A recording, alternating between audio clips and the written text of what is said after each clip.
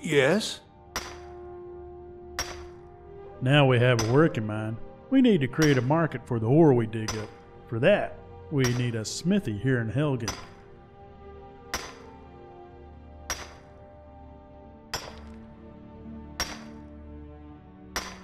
Markarth has a lot of smithies, both locally and visiting the town.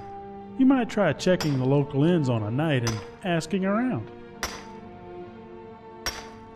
The Markarth inns not only get the local smithies, but also the visiting ones, so you have a good chance of finding one there in the evening.